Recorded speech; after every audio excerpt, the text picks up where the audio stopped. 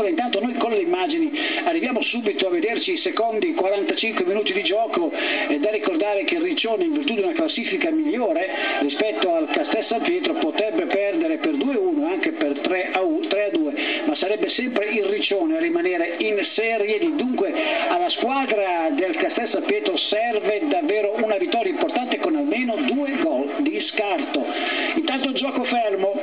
punizione ancora una volta in favore degli ospiti molto più reattivi in, seconda, in questa seconda fase di gioco. Ecco il calcio di punizione in aria, esce male Bertozzi,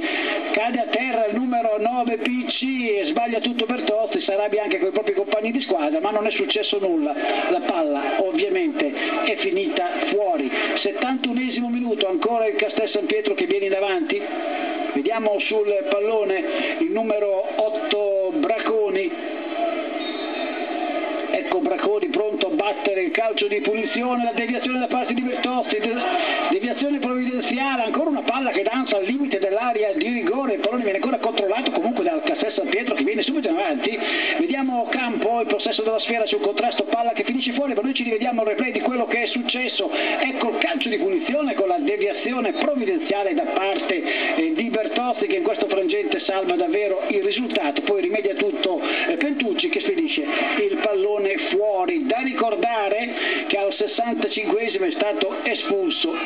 l'allenatore ospite Lorenzo per proteste. Dunque Giuseppe Lorenzo ha dovuto lasciare il rettangolo di gioco per proteste. La squadra ospite gioca senza l'allenatore in panchina. Vi ricordo il risultato Riccione 1, Castel San Pietro 1. Si vede adesso anche il Riccione. C'è questo passaggio incredibile per il numero 10 Mazzoli. Arriva il gol. Il gol del 2 1. Mazzoli era solo difesa un po' disattenta da parte del Castel San Pietro, gol importantissimo per il Riccione, un gol che potrebbe significare la salvezza per la squadra di casa, vedete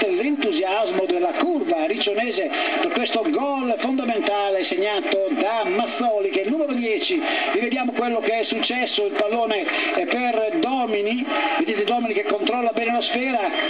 si gira, cerca l'appoggio con un proprio compagno di squadra che è Stefanelli, Stefanelli l'appoggio veramente incredibile per Mazzoli, qualcuno reclama il fuorigioco, l'arbitro dice di no e concede il gol al Riccione, Riccione 2, Castel San Pietro 1,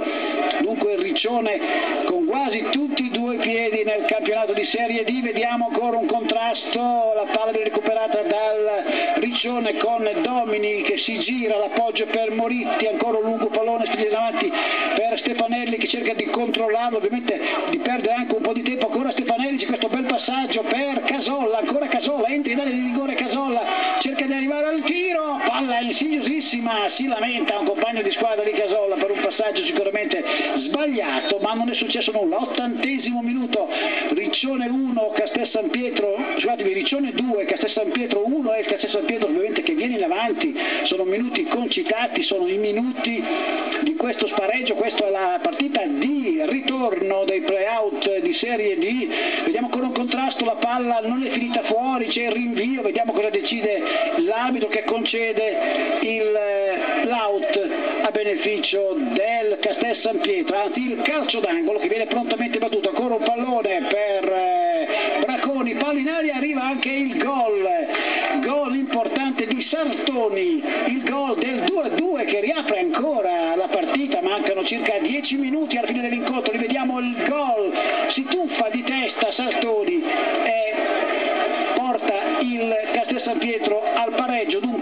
Riccione 2, Castel San Pietro 2, 95 minuto, si attende con trepidazione il fischio finale che arriva proprio adesso, dunque a Riccione, Riccione e Castel San Pietro impattano per 2-2, in virtù di questo risultato il Riccione rimane in Serie D ed il Castel San Pietro retrocede mestamente nel campionato di eccellenza, dunque tutti contenti, soddisfatti a Riccione, c'è entusiasmo da parte dei sostenitori della curva riccionese, vedete l'abbraccio dei sostenitori ai giocatori biancazzurri per questo pareggio molto importante che significa la salvezza, la permanenza in Serie D.